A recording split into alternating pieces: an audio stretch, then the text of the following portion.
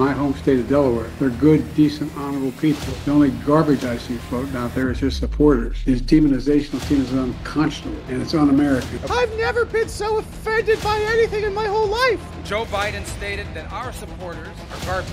He's talking about the Border Patrol. He's talking about nurses. He's talking about teachers. He's talking about everyday Americans who love their country. Biden's garbage brain is wrecking Kamala's garbage campaign. And it's a lot of fun here on our side. We don't mind being called garbage men. We've been called a lot worse, like insurrectionists, Nazis, racist, and all the things. Their words have no meaning and no power anymore. But they do reveal who they are and how they think about their fellow citizens. And so JD Vance is talking about this, saying, here's the actual video. Now, these journalists are covering for our catastrophic error from our president, where he called MAGA supporters garbage. And then we're going to go through the transcripts on this because they invented this apostrophe. It came out of nowhere. And they are now trying to spin this as though Joe was talking about the comedian because it was an apostrophe. They just shoved this invented apostrophe into his mouth, like they shove other words into his mouth and ice cream cones after the end of a busy day. So here's what he said. And then there's a lot of reaction to this, okay? Because JD Vance is dunking on him. This was revealed to President Trump on the stage by Marco Rubio. And so we'll play that clip. And then we've got reaction. Walz is asked about it. And even Kaitlan Collins is like, apostrophe. What are you talking about? We heard what he said. Okay, it's pretty obvious. So here's our demented president, who some people are thinking maybe this is a little intentional, right? Maybe Joe's not so demented. He came out here and he's trying to kneecap Kamala in the middle of the campaign. And then that would set off a whole sequence of events, right? If that were true, if he were really trying to sideline her, then she might want to instinctually create some distance between the two. And if she does that too much, then Joe Biden might be mad at her and might try to kneecap her harder. So it risks mutually assured destruction if that is the intentionality this late in the game. And my instinct is it wasn't intentional because he then came out on X and he posted a, a statement. He's like, I didn't mean it. I didn't mean what I said. So somebody else wrote it for him back in the White House room, whatever, wherever they keep him. But here's what the president said. Puerto Rico, where I'm from, my home state of Delaware, they're good, decent, honorable people. The only garbage I see floating out there is his supporters. His demonization of seen as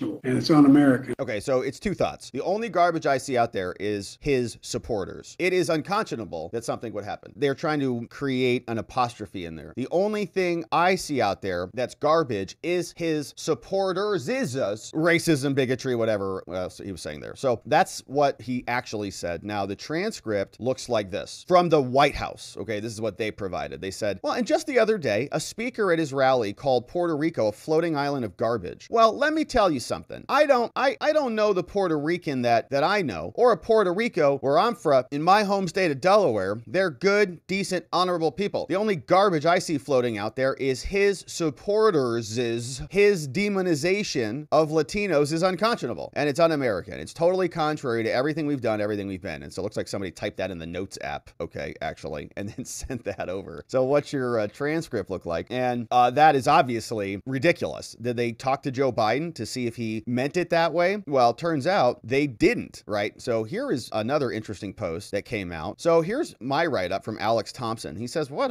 what? They put an apostrophe in there. What the hell? says, I asked the White House how they knew that Biden only meant supporters is uh, as they have it in this transcript. Did they talk to Biden to ask him what he meant? The spokesperson asked to go off the record. So where did Joe get that apostrophe from? Can you tell me that? He says, well, can we go off the record to discuss this? No, we can't. We declined. And so they didn't comment further. Oh, they didn't want to talk about it. Interesting. Operatives in both parties instantly saw it as a flashback to Clinton's basket of deplorables remark. And of course, Axios wrote a full piece about it. But JD Vance was also dunking on this all night long. He said, This is disgusting, okay? Kamala Harris and her boss, Joe Biden, are attacking half the country. There's no excuse for this. And I hope Americans reject it. And they were hyperventilating for days. Well, not that long because Joe Biden just upended them, but very upset about a comedian making a joke about Puerto Rico. I was listening to C SPAN one day doing show prep, and some Puerto Rican called it, I've never been so offended by anything in my whole life. By comedian's joke or something like that. And it was very interesting. So I wonder if he's going to be as offended here, right? And if they're going to hyperventilate over this. No, actually, they're trying to backpedal and say that Joe Biden didn't mean what he said. Here's how it looked when Trump got made aware of the announcement from Marco Rubio out on the campaign stage. So we're thrilled to be joined by some incredible people. I already mentioned Senator Marco Rubio. Marco, will you come up here, please? Come on. What's up, Marco? Good man, this one. Well, I wasn't going to say anything, but I have breaking news for you, Mr. President. You may not have heard this. Just moments ago, Joe Biden stated that our supporters are garbage. True. He said Are it. garbage. He's talking about the Border Patrol. Yep. He's talking about nurses. He's talking about teachers.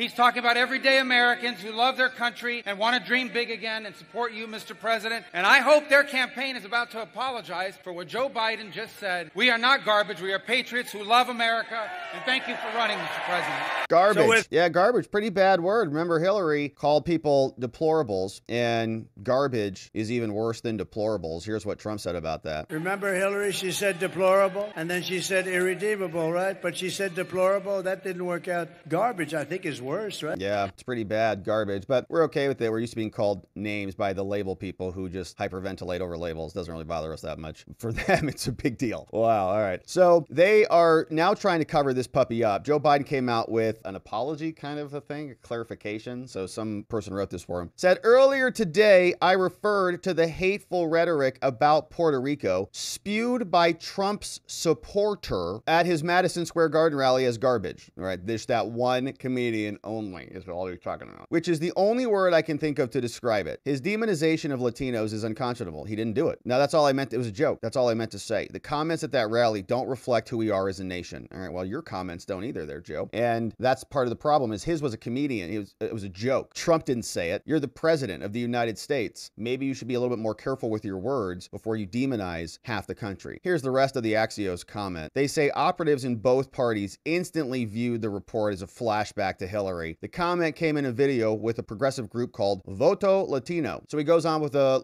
it's first of all bigoted, honestly. It's Latinx. Their group told us that. Their party told us that. So the Latinos should be offended, I guess. According to them, it's their rules, not mine. When Biden wanted to respond to a comedian calling Puerto Rico an island of garbage, on the call, Biden said, The only garbage I see floating out there is his supporters. Axios left off the apostrophe because that's what he said. His demonization of Latinos is unconscionable. Trump has not been doing that. It was a joke. The only garbage I see floating out there, they said, is his supporters is when the transcript came in from the White House. Asked if they had spoken with the president to ask him what he meant before you wrote the transcript. Well, they said, well, uh, can we go off the record? Joe Biden is not conscious right now, so we really couldn't talk to him. Axios declined to go off the record, and the White House didn't respond any further. Okay. After this story was published, the spokesman told Axios the staff did speak to Biden about what he meant to say to inform the transcript. Axios then asked for more details, and the White House declined again. JD Vance called the comments disgusting. Biden posted a clarification X. The Trump team has already started to fundraise off this, and they sent an email out that looks like this. Sean Davis got a screenshot for us. Trump immediately, Team Trump sent this out 914 afterwards. You are not garbage. I love you. You are the best our nation has to offer. Love your president, your favorite president, Donald Trump. Don't forget to vote. Very nice. So you can see it's very emotional. We all feel like we're welling tears of joy for being told we're the best our nation has to offer. It's true. Now, even Kaitlan Collins is saying, What? We know what they said. There's no apostrophe in there. It's ridiculous. Oh, and the White House is trying to say that what President Biden was saying, they're putting an apostrophe there in supporters, saying it's the singular, I guess referring to the comedian, that supporters comments. I mean, it's hard to really look at that when you can listen to it for yourself. Oh, and the White House. Oh!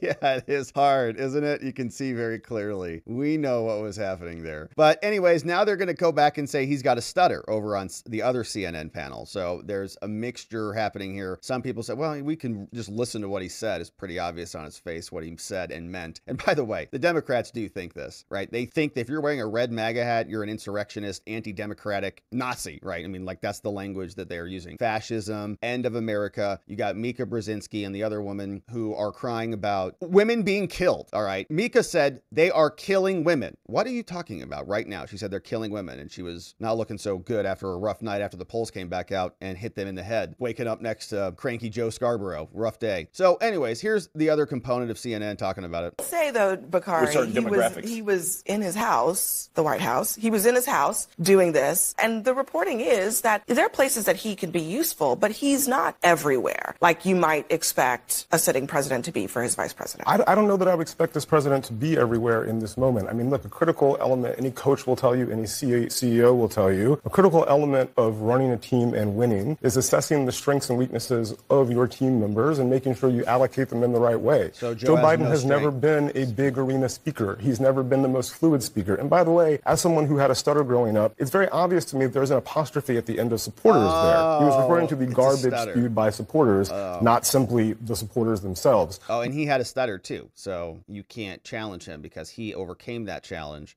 And he can see more clearly than we do because he's suffering the same verbal affliction as Joe. But Joe Biden has been on the campaign trail. He's best getting ice cream in Maryland like he was today. He's best showing moments of empathy in Arizona like he was last week. He's best with union folks as he was in Pittsburgh last week as well. Um, you use people where they are best. You put Obama in a big arena, you put Michelle in a big arena, and you put Joe Biden in front of a bunch of union people doing retail I mean, politics. You could make the argument that they would be fine if Joe Biden wasn't anywhere near a well, microphone you, between now and next Tuesday. But, yeah, you, let me just accept the most charitable framing of this, which you just gave. Yeah. Why is he sitting in front of a laptop at the exact same moment Kamala Harris is out on his backyard trying to give the closing argument to her campaign? What in the world is he doing? Now, I don't accept your framing of it personally because I actually do believe he, Harris, the Democratic Party, and most of their campaign do believe that half the country is garbage. Obviously. They've also said people who go to Trump rallies are Nazis. And fascists. And so it's pretty apparent the disdain with which the they verge. hold half of the country in. It's And- not, that's and- not true. on, that's We've not already, true. already, Yes, litigated- that's we've already, already But- but- litigated but it as a- but as a- in Kamala's speech tonight. But as a tactical matter today, No, but you don't just get to why say in that. the world is Joe Biden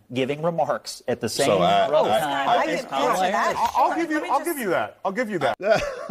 okay. Well, I think Joe Biden doesn't like Kamala Harris and vice versa. And so there's a prickly relationship there. But why is Joe Biden speaking during her closing argument? And I think this capture took all the energy away from her closing argument, which was her stupid ellipse speech yesterday, which I think was trying to resurrect the images of January 6 as though that's working for them. Yes, January 6 even harder. That's going to work out well for you guys. People are really concerned about January 6th when they can't afford groceries. All right, so here is the energy being sucked out of Kamala's closing argument over on CNN. All good news. JD Vance said, The only garbage I see floating out there, this is how Politico framed this. They said Biden in a Zoom call said that the only garbage was the hatred of Trump supporters, right? Was the hatred. He didn't say that at all. Didn't say that even close. Politico changed it. Did, do John Lemire and Politico have an ounce of integrity? Answer, JD. No. Will they correct this obvious falsehood? No, they won't. So they just rewrite it. It's like 1984. And I know that analogy is being resurrected a lot lately, but it's it literally, I mean, what? It's it's an example in the book. They just whatever you say, they change it. Biden in a Zoom call said the only garbage was the hatred of Trump supporters who said things about Americans. That's not what he said at all. They changed the whole statement because they're partisan hacks. RFK Jr. came out said deplorables, Nazis, garbage, fascists. Can we talk about other issues other than dividing Americans? No, because that's what they actually believe. Now, here is another meme from Sean Davis. Here's how Biden looks at Americans. He says, An everyday American who's working his butt off, multiple jobs, not sleeping at all, stressed out, says, I can't afford food and an illegal immigrant killed my family. Biden says, Well, you're human garbage, Jack, slurping his ice cream cone. Very, very appropriate. And of course, Byron Donalds came out to lay down the news on his take on this. And here's what he said. My response is, is that the first statement from Joe Biden is the one that he truly believes. He does not think that people who disagree with him or his party, who support President Trump, are, you know, are Americans. He thinks that they're garbage. That's a fact. And, and the reason, and what I go back to is four years ago, around this same time, it was Joe Biden that went on the Breakfast Club, and he famously said that if you couldn't vote for him, then you weren't black. It's the same Joe Biden made the same type of statement four Yep. years ago. So this is consistent with who he is. Look, I think right now what we have is a contrast in presidential campaigns. Donald Trump has been on the campaign trail talking about fixing our country, ending a lot of the travesties from the Biden Harris administration, making America great again. Joe Biden, Kamala Harris, Tim Walz for that matter, they're running around talking about the, the rally in MSG was a Nazi rally.